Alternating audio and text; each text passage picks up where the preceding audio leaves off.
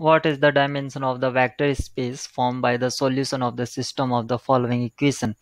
This is the equation uh, this is the system of equation x plus y plus z equals 0 x plus 2y is equal 0 y minus z is 0 so whenever a system is given to us always try to write augmented matrix because this is right hand side is 0 means this system is ax equal to 0 it means all solution will be in null space.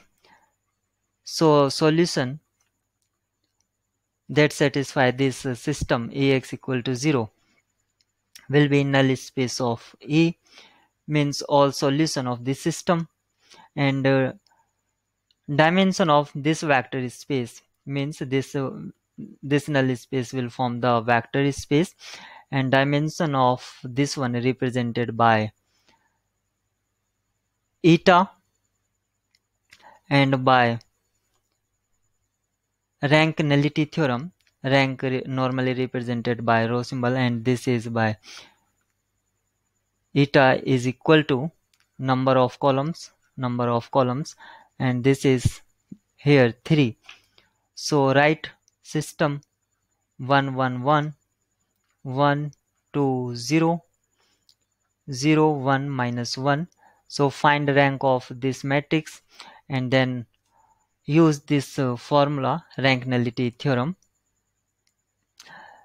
So apply elementary row operation here. So directly subtract r1